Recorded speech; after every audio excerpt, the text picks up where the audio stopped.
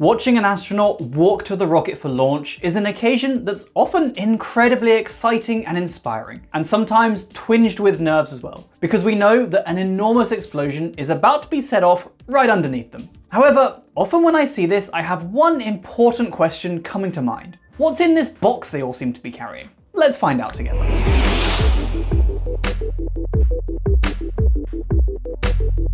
Have you ever wondered the same thing? Why do astronauts carry these odd looking briefcases that seem to be plumbed into their suits? Like, they can't be providing oxygen to breathe because they're still on Earth and they almost always have their helmets off too. So it can't be that. It's also not going to be for carrying their toothbrush or spare clothes either. Since why would that be attached to them with this tubing? It's not entirely just an old thing either. Sure, the Apollo astronauts did carry them on their way to their moon-bound Saturn V's, but recent launches have them too. For example, here's local hero Tim Peake getting ready to launch to the International Space Station in 2015, and he has a mystery box too. It does seem like the most recent SpaceX astronauts aren't carrying them, so that gives us our first clue. The newer, lighter weight flight suits here don't need whatever it is that the bigger suits worn by Apollo, Soyuz, and more seem to require. It turns out that what these boxes are for is cooling. The big suits here are incredibly hot. This is often compounded by the fact that launches take place in Florida, or in Kazakhstan when we were working with the Russians. Either way, pretty hot places. The last thing you want right before you launch to space is heat stroke or severe dehydration. So these little boxes cool and supply water that's pumped around the suit to keep the astronauts a healthy temperature. You can see here an Apollo suit with all of its tubes for cooling the astronaut. And a more recent ISS suit looks pretty similar here. Space may be cold, but inside these massive suits is very, very warm. The boxes aren't taken on board the rocket either. They're purely for cooling on the ground. Once on board the rocket, they plug into the command module itself to get cooling. And when in space, be that a spacewalk or actually being on the lunar surface, the water is cooled and supplied by these huge backpacks they're wearing. They provide air too, it's a pretty essential backpack. The astronauts also don't have a box when they land back on Earth. They need to wait to be collected to get some help keeping cool.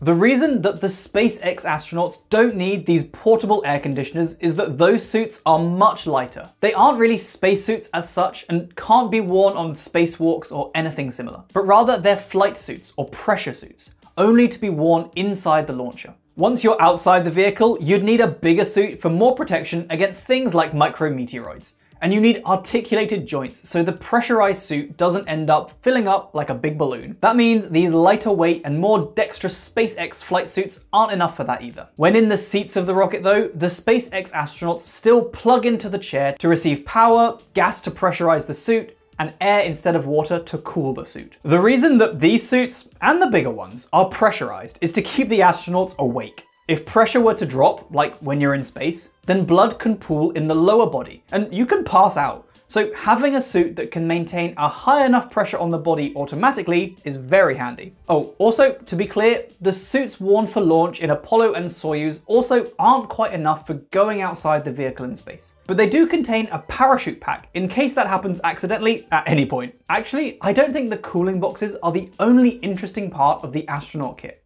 I mean, all of it's cool, they're going to space, but one thing that isn't talked about very much is their personal preference kit. This is a little baggie that they take on board with all of their personal items. Astronauts can choose to take pretty much whatever they want, although the items do need to be approved by management. Always the way.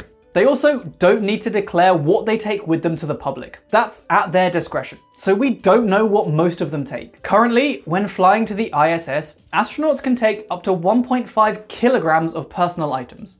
And the most common things are cameras, flags, patches, and musical instruments. But I would love to know what you would take as your personal items if you were flying to space. Let me know in the comments. For me, I guess I would take some photos of my family, a camera, and maybe some sentimental items from my PhD or something. And also some Pokemon cards, so that I had the first ones that ever went to space and was the coolest kid on the playground. That's the dream right? If anyone knows any astronauts who want to help me out there, do let me know in the comments too. I also think that the Apollo 11 mission, the first one to the moon, had some of the most interesting and some of the most boring items taken in these personal kits. Neil Armstrong got special permission to take wood from the propeller of the Wright Flyer, the first plane to ever achieve powered flight. That, I think, is pretty cool. On the other hand, Michael Collins took a razor and some shaving cream.